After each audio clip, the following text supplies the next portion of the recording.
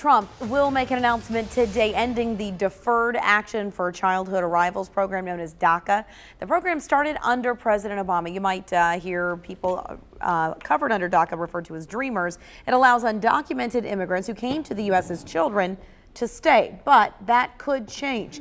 Just a few hours ago, New York City's mayor announced on Twitter he will sue if President Trump follows through with it. Tri-state DACA recipients, though, are concerned that they could be sent back to their home countries.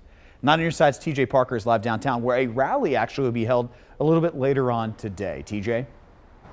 Yeah, and Chris, several tri-state organizations will meet here outside the Scripps Center outside of Senator Rob Portman's office to rally to protest the end of DACA. As you had mentioned, you know, President Trump will make that announcement to end the program sometime today. There are around 800,000 people across the country who are DACA recipients under this program. There have been several demonstrations like the one that is supposed to take place this afternoon across the country leading up to the president's announcement. U.S. White House officials say the president is leading leaning toward phasing out the program over the next six months to let Congress come up with legislation to replace it. There are several solutions in the works, including the DREAM Act, which would allow undocumented minors to obtain conditional residency with a chance of obtaining permanent residency if qualifications are met.